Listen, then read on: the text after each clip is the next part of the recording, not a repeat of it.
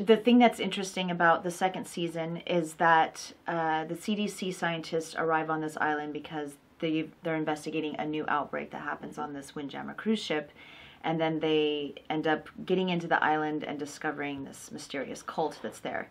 My character comes to the island, but I come separately. So um, what's interesting about my story is that she is still central in the story that she's a part of. So there's a couple of things going on, but her story is, um, you know, we're gonna pick up some elements of what happened to her at the end of the, the first season, which was pretty extreme. And uh, yeah, I'm definitely isolated from the rest of the cast in the beginning. Um, so there's a lot of interesting mysteries there behind her.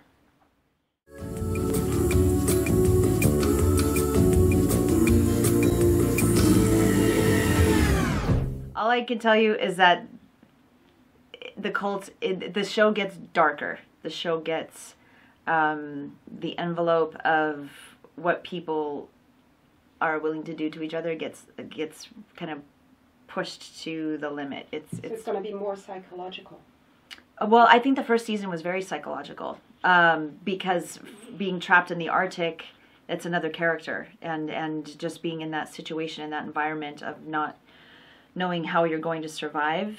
Uh, people start doing things that they wouldn't typically do if they were in you know a different kind of environment. So um, I think it's always been a psychological thriller, and that was one of the best pieces of the show. And this season, um, we keep going into that.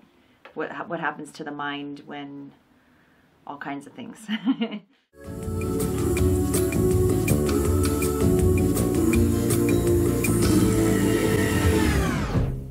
great question. I hope so. Uh, when I went to Comic Con, there was a big crowd of people when I was stepping out to go and do these interviews, and I saw this big sea of people, and it was kind of overwhelming. And there was um, maybe a 15 year old girl standing there with my picture, and she had been waiting there all day for me to sign it.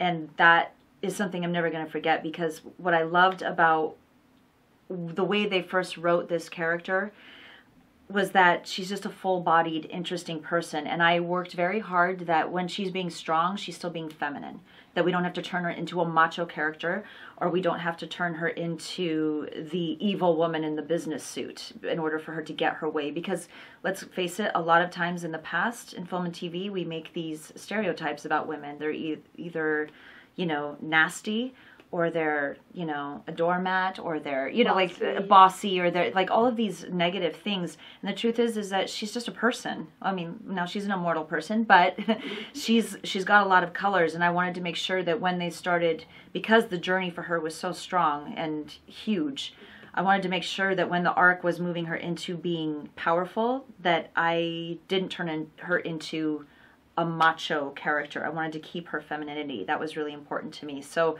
I worked with the writers on that, and I'm hoping that um, she continues to be as strong as she is because she's very female.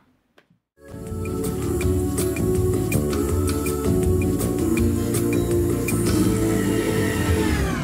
had no idea what was going to happen.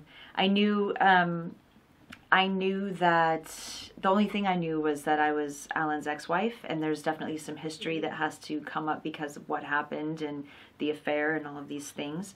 But um, I had no idea how central and important her character would be, and I thought it was really great because the fear is, even though she was written really well, the fear is that okay, I'm going to be the ex-wife and that's it. But the truth is, she has her own story and she's there for reasons that are outside of her relationship to this man and i think that that was really important and um, it was uh, empowering for me as far as where i could go with this character.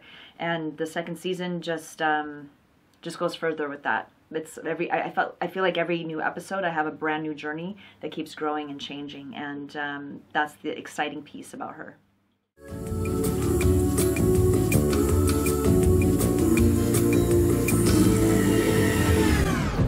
Yes, there's um, a lot of the mythology that was established in the first season. Those answers, those answers will come up in the second season.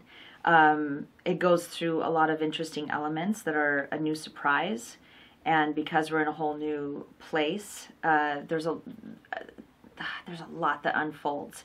But things will get answered, and uh, it's there's a lot of shock